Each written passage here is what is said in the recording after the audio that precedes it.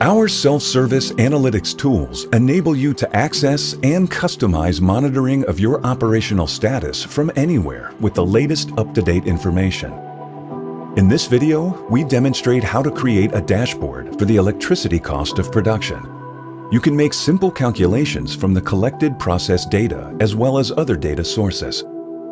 Here, we calculate the electricity cost of production by combining the total electricity consumption of the process with the electricity market price.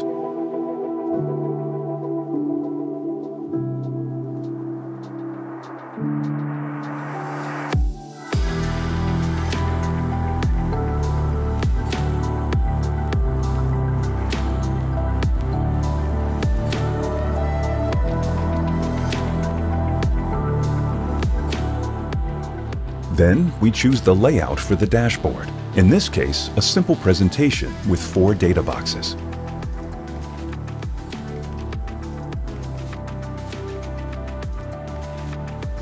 Next, we start building content for each of the data boxes.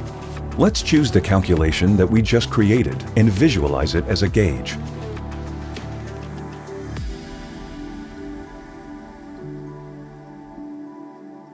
Then let's visualize the cost of production as a histogram on the top right corner.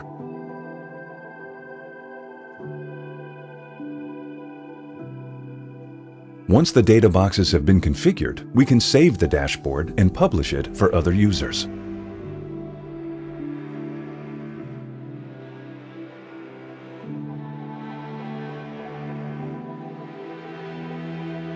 Now we have the final dashboard to track the electricity cost of production.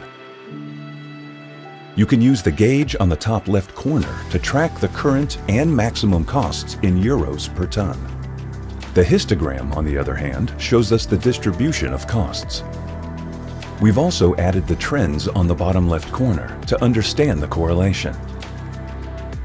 Now you have a dashboard to monitor and analyze the electricity cost, and you can use this information to influence future costs. This was an example of how to improve the transparency of your operations by using the tools in our analytics solution to create custom dashboards for your needs, unlock valuable insights of any data source, get support from Valmet Performance Center in customizing dashboards and analyzing results, and keep your data secure.